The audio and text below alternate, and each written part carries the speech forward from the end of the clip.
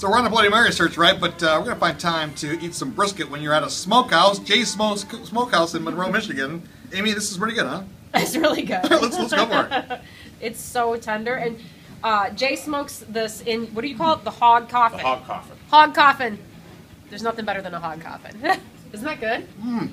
It's so tender. So they got nominated for their Bloody Marys. They make several different kinds here. We're going to try those in a minute. But in case you were not interested in Bloody Marys, they also have some delicious spiked sweet tea. This is their peach sweet tea. That might be really, I think sweet tea is fantastic with barbecue. So an alternative to Bloody Mary if you're interested. But we'll have some Bloody Marys in a minute. Yep. First, more brisket.